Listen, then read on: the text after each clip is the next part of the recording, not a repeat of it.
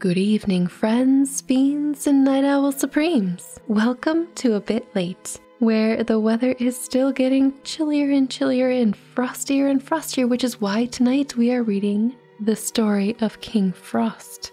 Might as well lean into the cold, right? Maybe we'll get warm. Who can say? Well, thermodynamics or something like that probably could. But this is the realm of magic and stories, so anything can happen. Tonight's story is another heartwarming but not at all heartwarming tale. So I do hope you have gathered around you quite a few blankets if that's your thing, or candles, lights, definitely some of those animal familiars, and coffee, tea, cocoa, whatever you need, because this story is very frosty, obviously. So settle in, ensconce yourself in that blanket fort, and get ready for the frosty story the story of the Frost King. There was once upon a time a peasant woman who had a daughter and a stepdaughter. The daughter had her own way in everything, and whatever she did was right in her mother's eyes, but the poor stepdaughter had a hard time. So far par for the course, unfortunately. Fairy tales. Never kind to stepdaughters. Let her do what she would, she was always blamed and got small thanks for all the trouble she took. Nothing was right, everything wrong, and yet, if truth were known, the girl was worth her weight in gold. She was so unselfish and good hearted. So, not priceless, but worth her weight in gold. But her stepmother did not like her, and the poor girl's days were spent in weeping, for it was impossible to live peacefully with the woman. The wicked shrew was determined to get rid of the girl by fair means or foul, and kept saying to her father, Send her away, old man, send her away, anywhere so that my eyes shan't be plagued any longer by the sight of her, or my ears tormented by the sound of her voice. Send her out into the fields and let the cutting frost do for her. Wow, what a spiteful woman. I don't like her. In vain did the poor old father weep and implore her pity. She was firm, and he dared not gainsay her.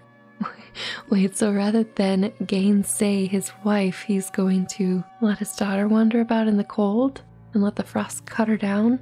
Wow, okay. One of those is a little bit of discomfort at home, and the other one is you were talking about sending your child to certain death. But okay, okay, okay. So he placed his daughter on a sledge, not even daring to give her a horse cloth to keep herself warm with, and drove her out to the bare open fields. What? Where he kissed her and left her, driving home as fast as he could that he might not witness her miserable death. So I'm not sure if not giving her a blanket is supposed to be a kindness so that death comes quickly, or if he just didn't want his wife to know that he gave her a blanket that they maybe needed at home. Wow, I don't know, man. You always wonder about the fathers and kings of the stepdaughters in fairy tales and what they would do if they were actually around you know, like Cinderella or whatever. And uh, I guess here's our answer, and I'm not loving it. Da da da da, yikes. Anyway, deserted by her father, the poor girl sat down under a fir tree at the edge of the forest and began to weep silently. Well, I would have been crying, but then my tears would have froze. Suddenly, she heard a faint sound. It was King Frost springing from tree to tree and cracking his fingers as he went. Oh, oh, ow, I can feel that in my bones too. At length he reached the fir tree beneath which she was sitting, and with a crisp cracking sound he alighted beside her and looked at her lovely face. Well, maiden, he snapped out, do you know who I am? I am King Frost, King of the Red Noses. All hail to you, great king, answered the girl in a gentle, trembling voice. Have you come to take me? Are you warm, maiden? he replied. Quite warm, King Frost, she answered, though she shivered as she spoke. Then King Frost stooped down and bent over the girl, and the crackling sound grew louder, and the air seemed to be full of knives and darts, and he asked again, Maiden, are you warm? Are you warm, you beautiful girl? And though her breath was almost frozen on her lips, she whispered gently, Quite warm, King Frost. Then King Frost gnashed his teeth and cracked his fingers, and his eyes sparkled, and the crackling, crisp sound was louder than ever. And for the last time, he asked her, Maiden, are you still warm? Are you still warm, little love?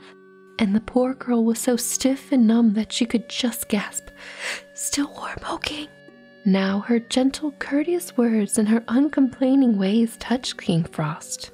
Really? Why? I. Oh man.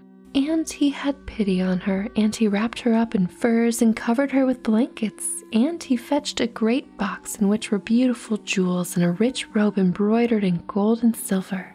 Wait, so the young girl is rewarded for continually denying and lying about the state of her well being. She's literally freezing to death, but she's polite about how she's warm. So she's polite and lying, and that makes it, oh, she's such a good girl. Let's reward her for making space for other people or accommodating them, even though she's literally dying over it. I am so confused. Fairy tales confuse me sometimes, but ah, well. Continuing on, and she put it on and looked more lovely than ever. And the King Frost stepped with her into his sledge with six white horses. He's the opposite of the Snow Queen in that he keeps her warm and gives her warm things, where the Snow Queen drains the warmth, kind of, out of poor little Kay or Kai in the Snow Queen. Or just lets him freeze. Either way, she's not giving him any blankets. In the meantime, the wicked stepmother was waiting at home for news of the girl's death. But how would they know? Someone would have to watch her die.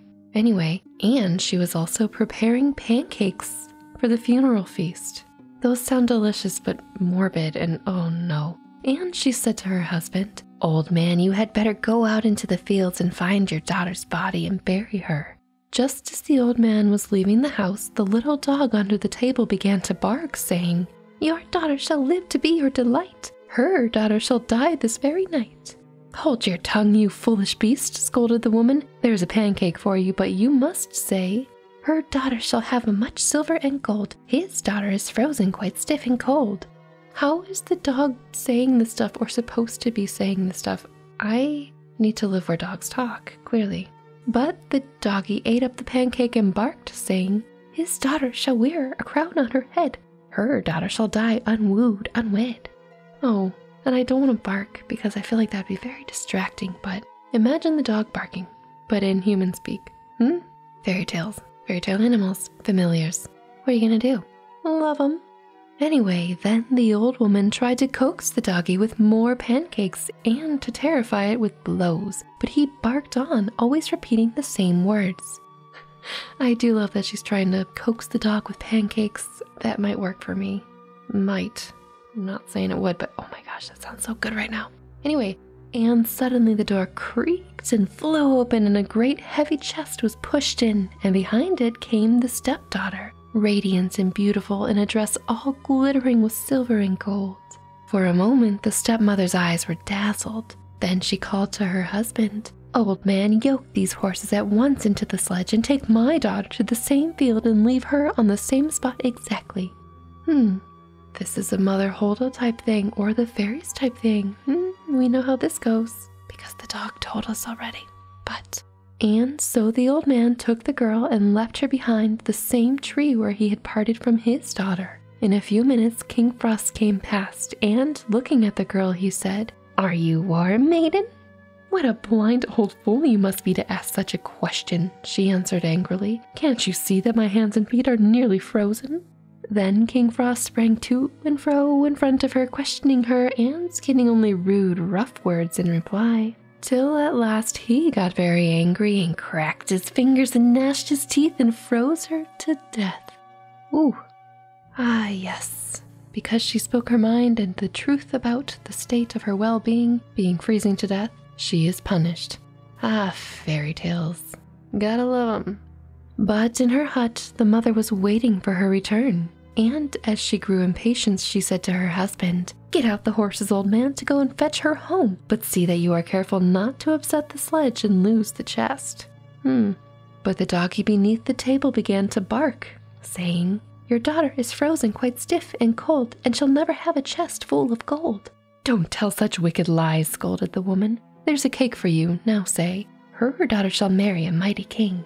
At that moment, the door flew open and she rushed out to meet her daughter. And as she took her frozen body in her arms, she too was chilled to death. The end. Well, friends and fiends, if you weren't cold, you might be now. That was a frozen heart worth freezing times two. It spread. It didn't stop with an act of sisterly love, it spread with an act of maternal neglect or selfishness. Uh, but wow, there we have it a heartwarming fairy tale that wasn't heartwarming at all. But I'll tell you what, I don't think I could say that I was warm when I was freezing. I have like five blankets around me right now, so I think I know what my fate would be. But what are some of your thoughts? Have you heard a story similar to this? I feel like we've read a lot of them on this channel so far, but none of them have had pancakes. And wow, what a great touch. I think I need to make some right now. But I hope you're having a wonderful evening, or night, or sleep, or day if you're listening to this in the daytime and getting on with whatever you need to do. Thanks for hanging out with me, and I will see you soon. Now, off to sleep and dream what you will, or stay a while and enjoy another tale. Whichever you choose, I'll speak to you again. And until then, stay spooky and warm, my friends. Good night.